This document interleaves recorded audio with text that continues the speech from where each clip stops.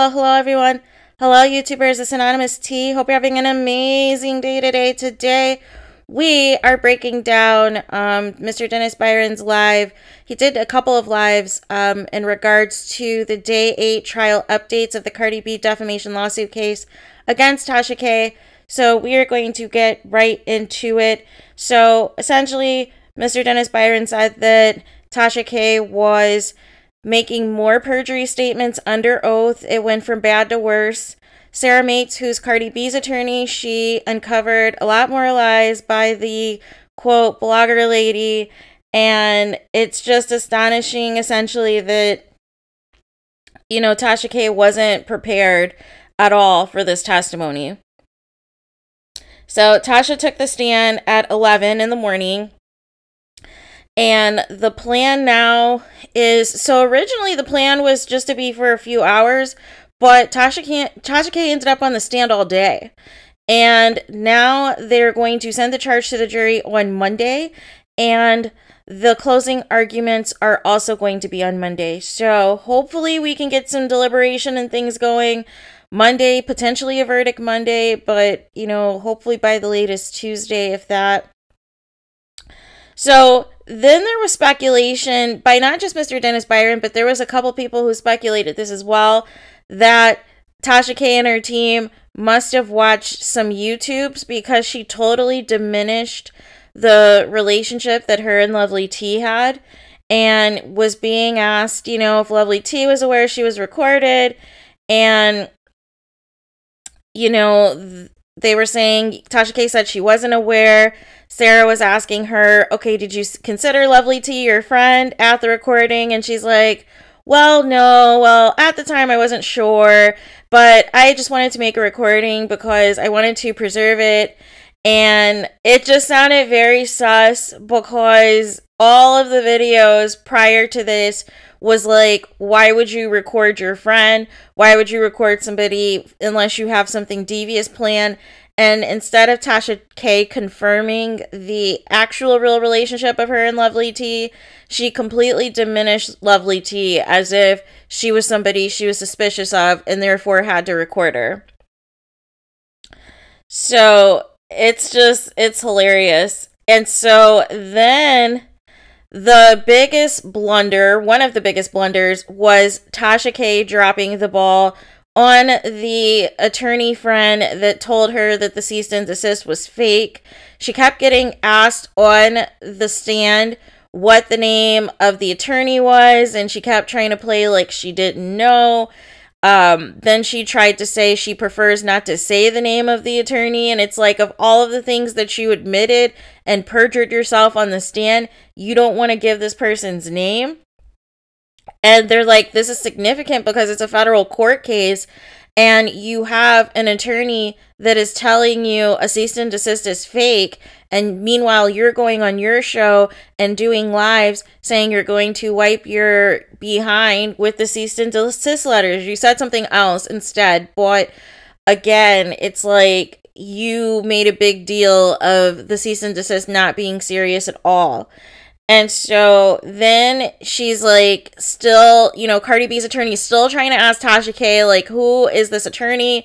And she is just pretending like she has no clue.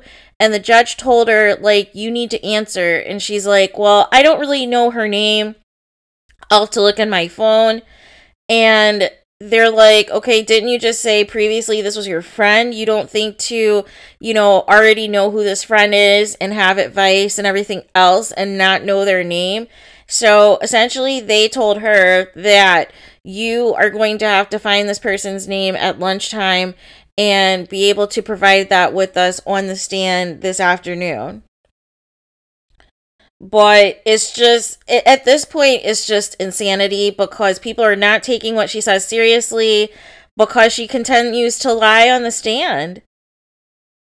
And so then she's just it's just a lot man. It's just a lot because she was trying to antagonize Cardi B's attorney. She kept trying to refer to her as her by her first name and you know was like sarah don't look down at me and this and that and it's just like come on tasha k. Like she was like trying to have her own Unwine with tasha k on the stand and trying to do all of this you know antagonizing and everything else and you know sarah's trying to get to the bottom of who responds you know, to emails to cease and desist letters, like who is responsible for, you know, taking care of things on the business side with Kebe Studios. And so Tasha K answers in the question who responds to the letters, and she says her husband.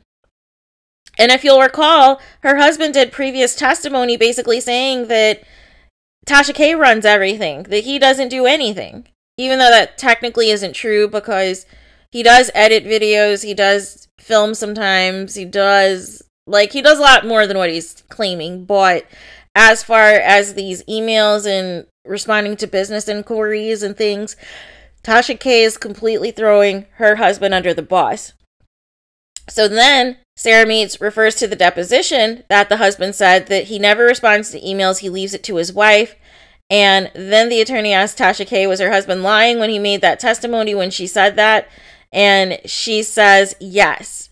So I just don't I don't know at this point what is going to end up being the result of Tasha K and her husband's marriage because how can you willingly like testify completely throwing each other under the bus? And aren't you guys since you guys are legally married don't you guys have the protection of where you don't have to testify against your spouse like doesn't that apply so i don't understand why you couldn't have just pled the fifth chose not to answer and everything else in regards to potentially saying something incriminating in the event of potentially perjuring yourself like i just don't understand the thought process with any of this as to why they're making a point to completely contradict each other and throw each other on the bus. I would not be going home to you at all. I'd be staying at a hotel or you'd be staying at a hotel because there's no way we're not going to be on one accord and not having the same testimony or not testifying each against each other at all. Like there's there's just no there's no excuse for this. So, um, you know, essentially Sarah Meets was like, okay, well, either the husband's lying in his deposition or Tasha K is lying on the witness stand. And it's just crazy, man. It is just absolutely crazy. But they did mention that somebody did respond to that email. And they did put the cease and desist letter on the big screen. So it's just crazy. So then Tasha K goes into this whole spiel about how she doesn't have access to her husband's password and that he uses a very expensive computer system. So therefore, she can't get into it and she can't access his email. And I'm like, what? I'm like, wait a minute. You guys are married. You guys share ownership of Kebe Studios and you can't get into his computer? Like something is just sus is completely sus. Like, why, as a married couple, do you not have the password to your office computer where you're doing business and everything else? Who cares how expensive it is? Like, it's coming from what you're doing with your show. Like, seriously? I don't know. It just sounded like hogwash. So, again, it's just Tasha K kept reiterating that her husband was lying. So then there was a funny moment that Mr. Dennis Byron mentioned, and because Cardi B's lawyer Sarah Meets called Lovely T Lovely Ti, and then the judge was like, He's like, Isn't it lovely T? We don't want to bring T.I. into this. And the court broke out in laughter because, as you'll remember, you know, T.I. famously, you know, went to jail for the gun charges and everything else. And um, that was just hilarious. That was completely hilarious. So then, after they took a break so that Tasha K could, you know, make up a family court attorney, because that's essentially what it feels like. It feels like um, she just drew a name, somebody random, and now she's claiming that the name was Mimi or something, and didn't know her last name and that she's a family court attorney in DC, but they want the actual names, they want the actual receipt of this family court attorney that told her the cease and desist is fake because they want to vet this person. They want to verify that she is licensed with the bar, that she is an actual attorney, and see if this story checks out, if this is the, alleged correct person that told Tasha K that the cease and desist was fake. So, and it's just it's just craziness because Tasha K is claiming not to remember her last name. However, the name would be contained within the email, and they were asking if she could forward to her attorney the email. Like it was just crazy. So, but there was a moment where the judge kind of gave a reprieve to Tasha K and her attorneys. So, one error that Cardi B and her attorneys messed up on was they did not take into account the different thresholds. So you're still going to get the compensatory damages, the punitive damages, and also, you know, the legal fees, which is, you know, about a million dollars, as well as any medical fees for what Cardi B paid for her therapist and this and that. However, the one thing, and they can also prove the malice and will intent specifically from all of Tasha K's, you know, videos and audio and everything else, and just the vitriol she had for Cardi B and the obsession and the excess videos. But the problem is the issue is Cardi B and her attorneys failed to provide or have an expert witness to speak to potential income that was lost because of the things that were said. So essentially, although she still had some things that were successful, she hosted the AMAs and her songs were doing well. Like, I think two of her singles went diamond or something. So they're trying to, they should have had somebody that said, hey, Cardi B was up for this acting role and she couldn't do this acting role or we had to go in another direction for this acting role or we had to delay filming to confirm that Cardi B didn't have herpes because there was going to be potentially a kissing scene or a love scene and we couldn't film that because we were concerned about the rumors that were spread by Tasha K. So if there was like an example of that where like a manager or somebody could have spoke to opportunities and potential deals that were missed out upon because of this rumor being spread, I think that would have been something that would have been significant to the case to at least put into perspective to the jurors and to the courtroom. You know, even though you may see her already doing well with Cardi B, with how quickly she ascended to, you know, superstardom and fame and fortune and everything else, but even with her status, there still could have been opportunities that she was looked over for, or she may have initially, you know, got, but then it they didn't, you know, want to proceed with her because of the negative press of the whole herpes stuff and the cheating rumors and everything else. So that was one area where Cardi B and her attorneys, you know, failed to provide that because that could have also contributed to the um, emotional pain and suffering to essentially say, hey, you know, and also argue that this provided, you know, a delay or just not getting an opportunity at all or opportunities pulled away from Cardi B and going to a different person. Like maybe she could have had an argument that some things went to Doja Cat instead of her or something, but they missed the boat of just having an expert witness, a manager, a PR person, just somebody that could have spoke to anything over the past 3 years that Cardi B was supposed to do that she either had to drop out of or the role was given to somebody else or a song was given to somebody else because of these rumors. So that was one area to where that Cardi B and her attorneys can't, you know, speak to is what is the future or past damages in terms of any opportunities over these past three years that Cardi B missed out on because of these Tasha K rumors. And I'm a little bit shocked that that wasn't accounted for by the attorneys. So I'm wondering now how that is going to impact what they present with the charges on Monday and how Cardi B and her attorneys are going to put, you know, some things together and all of that. And so then the judge also discussed the defamation statute related to the Georgia law. So, um, and then they also gave Tasha K basically an out and an opportunity because since Cardi B is a celebrity and the threshold is high, like there's other thresholds that they can still hold Tasha K accountable for, but essentially, um, you know, for certain laws in Georgia, I guess allegedly there's, um, you know, certain minimum requirements that, you know, might not be as strict or as severe compared to other states.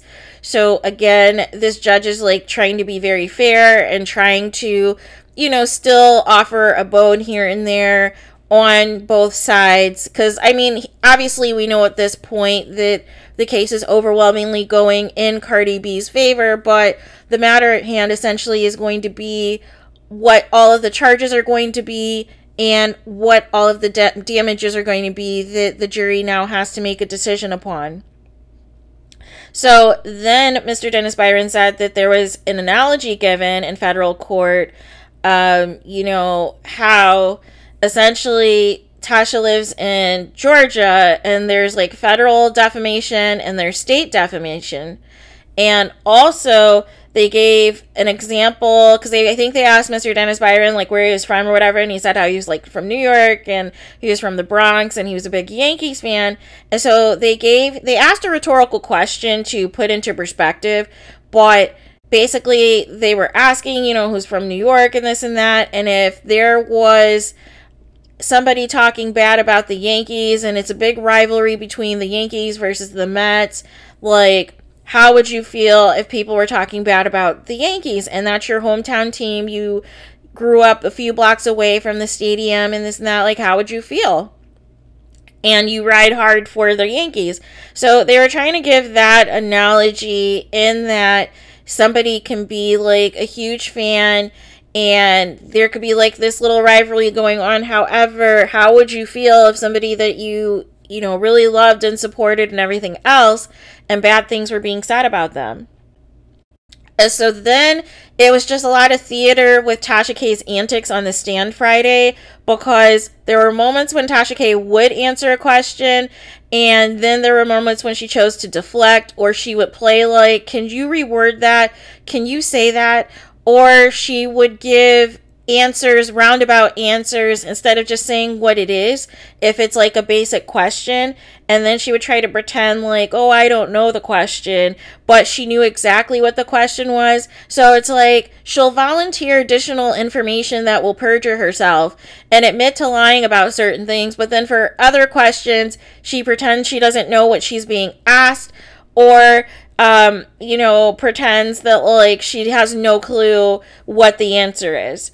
And so it's just it was just very I don't know if it was a part of a strategy or not. Um but again, like I had mentioned earlier, in addition to those shenanigans and trying to call, you know, Cardi B's attorney Sarah, like kept addressing her as Sarah versus like you know, Ms. Mace or Mrs. Mates, like, or just, I don't know. It was just like the lack of respect for me, but just trying to make it seem as though they're cool or on the, they're on the same wavelength. Kind of like how she did, like, the we with her and Lovely T, and how she tried to put her and Cardi B on the same level as if they have like some type of friendship that turned into a feud when they have no personal relationship.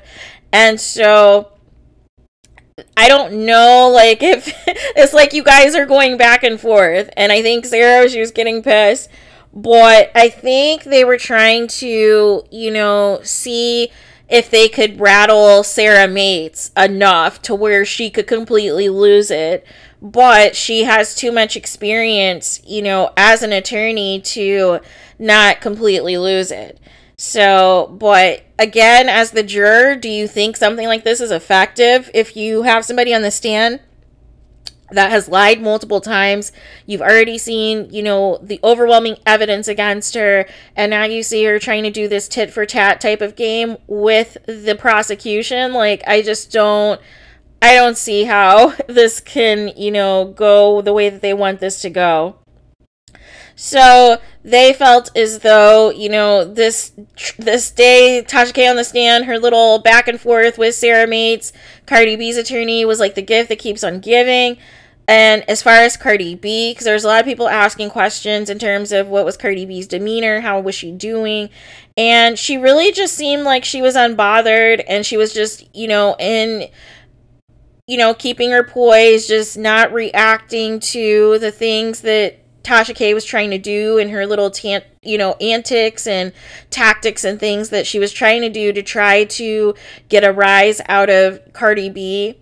So, and then also, I was in it. This is all speculation, but Mr. Dennis Byron was thinking as though since Tasha K had threw, you know, her husband under the bus multiple times that day on her testimony, that if he was the plaintiff, he would suggest to bring her husband back on the stand to verify the things that she just said or stay with what he originally stated that would match his deposition. So, to see if the husband's lying or to see if the wife is lying. So, but yeah, so then there were a lot of questions in the chat about herpes and some other questions. And so Mr. Dennis Byron said that he was not discussing that. So, but yeah, Tasha K, you know, Lovely T didn't know that Tasha K was recording her. And Tasha K was able to manipulate the call and kind of execute and direct the call for things that she wanted. And it's just the irony for me because this is like the same past couple of weeks where there's all this drama with Storm and then Tasha K, she gets on audio and on another blogger's page and basically says, Oh, yeah, we've got audio once she sees the conversation going in a certain way. And Storm's reaction is like, Wait, what? How do you have audio? And it, it's just a hot mess. But again, it's like at this point, if you choose to get involved with Tasha K or if you've already been involved with Tasha K, she likely has recordings of you without your knowledge. So just saying. But again, it's just Tasha K like completely orchestrating all of these shenanigans and Lovely T never said we did this cuz Lovely T is on the call thinking she's, you know, talking to her friend and it's all being manipulated. So, somebody also asked in the chat what was Tasha's defense and it was funny because Mr. Dennis Byron was like, Well, what defense? Like, he's trying to figure out since she's been there what the defense is. And that Tasha K basically is relying on the Georgia law um, since Cardi B is a ce- celebrity to pr- prove defamation to a public figure like Cardi B. So, but yeah, he also said there was just so many rapid fire questions by Sarah Matz. And then another moment where she was caught, where Tasha K was ta- caught in a lie, was they were asked, she was asked, you know, when you had your deposition and you testified that you were not a journalist, and Tasha K said yes. And so then she said, okay, but then you tell your subscribers on your platform, on your channel, on your show that you were a journalist. And so Tasha K says yes. And so she's like, so you're lying to your fan base, you're lying to the winos, claiming that you are a journalist to them, but you already said in a deposition and you're saying on the stand that you are not a journalist.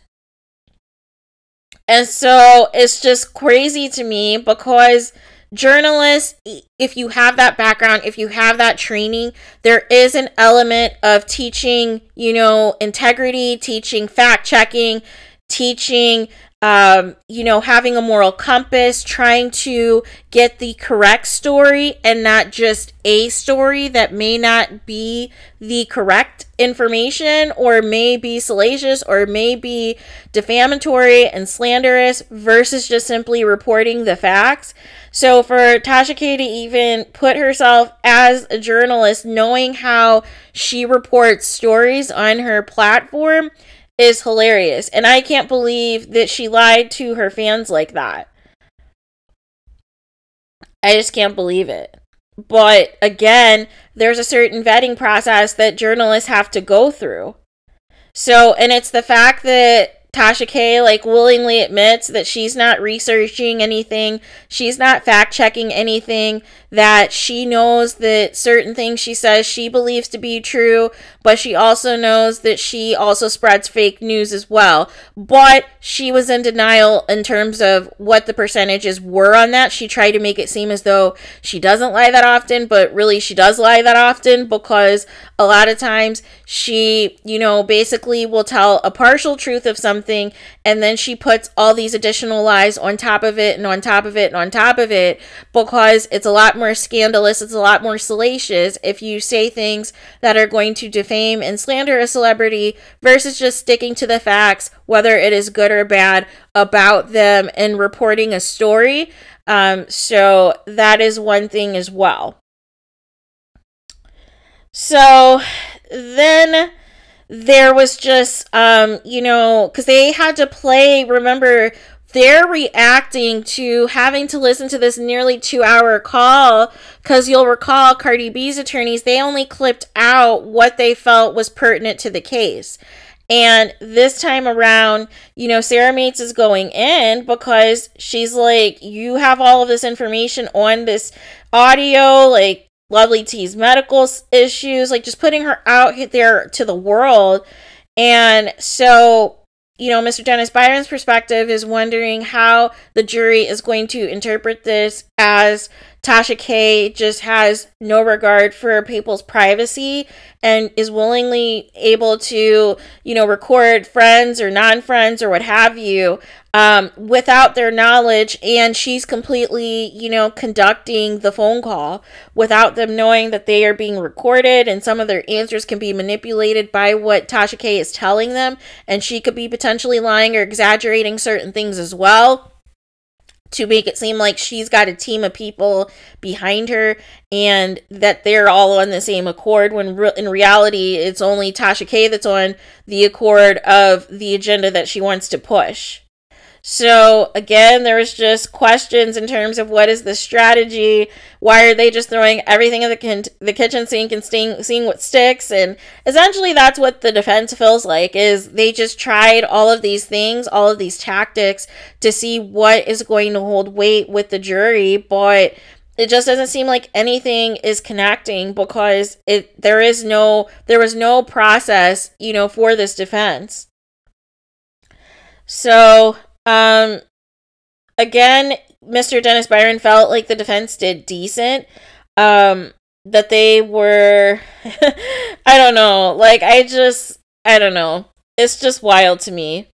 But there was just so many lies that were exposed, and Mr. Dennis Byron still wanted to make it a point to say, hey, even though we know technically what this outcome is looking and swinging to be, we still have to be fair. We still have to report it as though we do not know the outcome, and the outcome still can go either way because it's just a level of professionalism and a level of integrity and moral compass that comes with that. Even though, from everybody's reporting on what they are actually seeing in this courtroom, it just looks like it's a hot mess. It looks as though, you know, everything is going against Tasha K, but there are instances where the judge, you know, will intervene and there will be certain breaks and things that are given to her.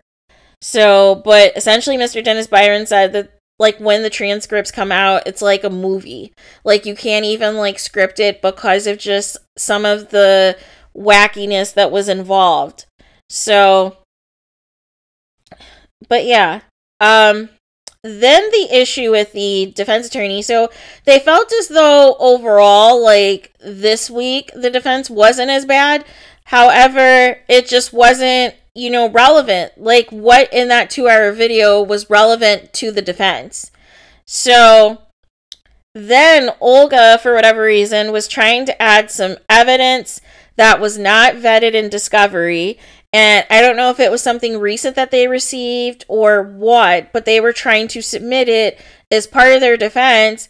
And it's like, that's again one of these lawyer 101 things not to bring in evidence during the trial um you like that's why you go through the pre-trial conference that's why you go through the vetting process of what will and will not be submitted into evidence and how that is going to be you know appropriate for the defense or the prosecution or what have you and they're trying to do like these last minute things. I don't know if people are sending last minute DMs to Tasha K to submit on their behalf, but it's just crazy because it's like when you do things like that, that potentially could also delay the trial because you have to still give the opposing attorneys an opportunity for them to prepare.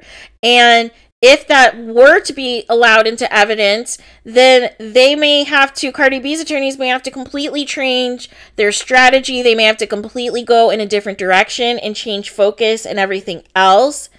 And so, um, you know, it's just crazy. And there's no accurate way to validate like these receipts this late in the trial. Like it just seemed like a last ditch effort to try to thwart something that's already going in a certain direction. And so they just had like the the husband's just sitting there while K is just completely throwing him under and somebody asked if there was a mental evaluation that could be done and so um, Mr. Dennis Byron was joking that would have been done in the pre-trial, but it's just not normal, you know. And he was speaking to people who've majored in sociology, which is the study of people and people's behaviors. And so, how they would, you know, look at this particular trial and look at what's happening in this courtroom and how people are behaving. Somebody asked about a hung jury and um and also in the chat and also there was um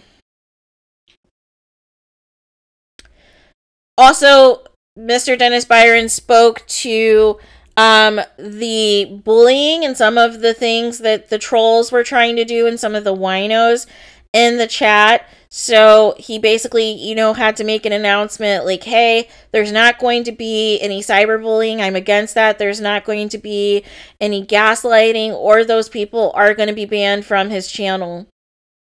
And he was just trying to understand, you know, from the perspective of trolling and the negative energy and things of that nature, or just blatantly spreading lies. And it's just, a, it's, it's the irony for me because it's like, your fave is on trial for knowingly spreading lies about a celebrity and continuing to do it for several times, even after being asked numerous times to stop it and numerous times to take down all videos pertaining to them without before even getting any legal involvement.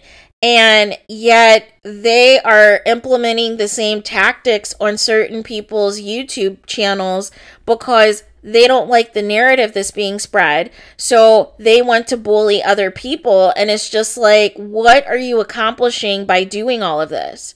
And what person has it in their heart that they want to go out like this and completely bully other channels and bully other black bloggers who are not drinking the Tasha K Kool Aid or who are reporting accurately on what is taking place in the courtroom.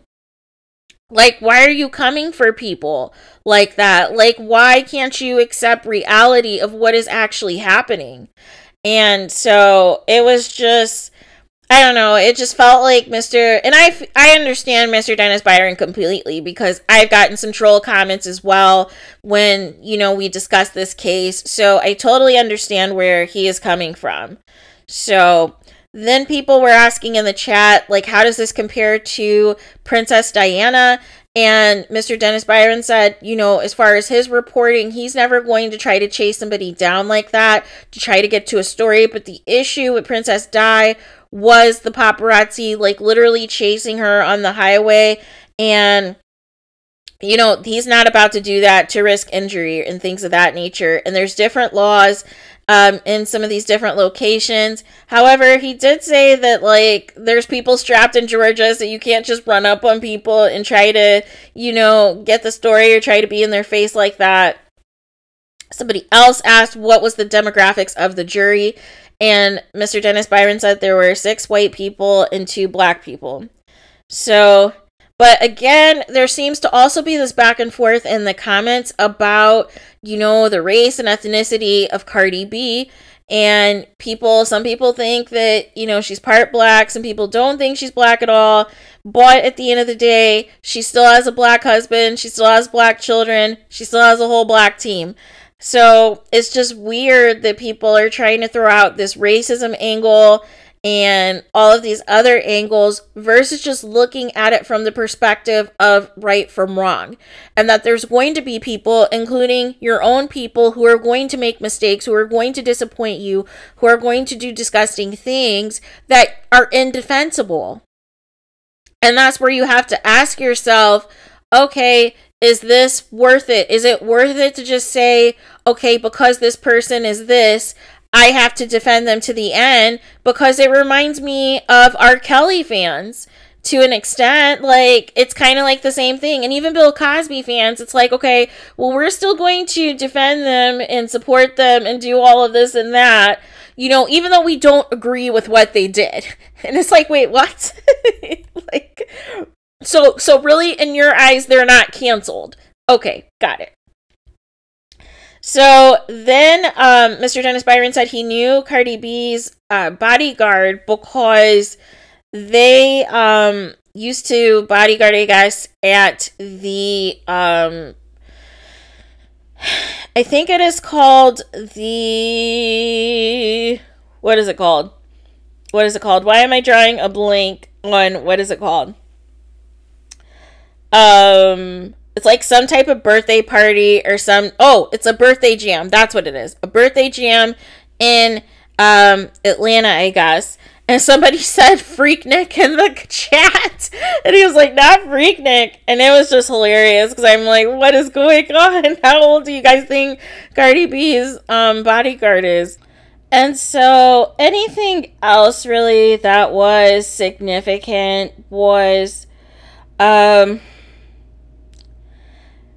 you know, pretty much he just, you know, Mr. Dennis Byron just wanted to reiterate that social media fighting and things wasn't he wasn't brought up like that and there's just a certain level of integrity and morals and things of that nature when it comes to reporting like yes of course we know that the tabloids existed like the national enquirer and star magazine and things like that um, before we have gotten to the social media explosion of things however this whole thing where you're just going to blatantly continue to post lies and cyberbully and employ your fan base to cyberbully others as well like that's just a whole nother level that you know is just not good at all um, and so then also Mr. Dennis Byron, you know, was looking for moderators for his channel as well as people who might be interested in doing some reporting for the Hip Hop Inquirer, whether it's doing writing stories or having some sort of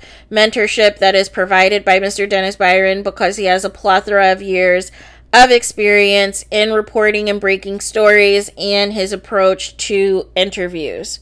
So, again, like I said earlier, even though we know the case is going in a certain direction, from a journalist perspective, he was essentially saying that you still have to you know, be objective. You still have to look at it, you know, as if it could still go either way and go from there. So then he briefly references the camera in the face it, situation with Choke No Joke, but doesn't really, you know, dive into it too much. So, but yeah, then he just talked after that about his career and how he has interviewed Rihanna, Denzel, Ciara, and other things, and just has been able to take some things you know, from his experience and expertise with different celebs.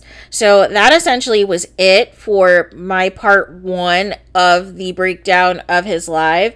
So I will be doing another follow up video in the other live that he did, further breaking down some of the things that took place on trial day eight. Keep in mind that Monday the jury will receive the charges they are going to do their closing arguments. Um, Tasha K's defense, as well as Cardi B's attorneys, are going to present their closing arguments. I think they have like an hour, an hour and a half on Monday to do that.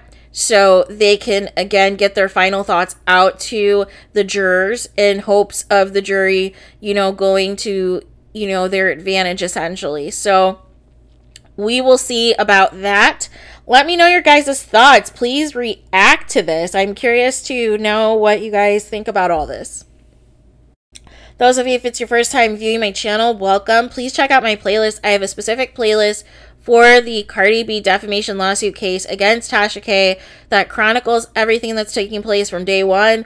I also have a separate um, Cardi B and Tasha K playlist that's speaking specifically to the out of courtroom shenanigans that is going on that is you know driving a lot of the news and things of that nature um, so you guys can check out both of those playlists to kind of be abreast on what is happening both inside the courtroom and outside the courtroom as well Please do not forget to like, comment, and subscribe and hit the notification bell so you're notified the moment I post new content on my channel. Thank you so much to all of my followers, to all of my supporters, to all the people who continue to come back to my channel and engage in the comments and, um, you know, really give off the positive vibes, the positive energy, and the positive encouragement. Like, you guys are all awesome. I'm grateful and thankful and appreciative of each and every single one of you. Blessings to each and every single one of you because you guys are doing your thing, your word of mouth, your positivity, you're amazing, all of you, every single one of you. So, thank you for that. Thank you so much for all of the positivity that you guys are exhibiting. And with that being said, I will talk to you guys again very soon. And I hope you guys have a nice rest of your day.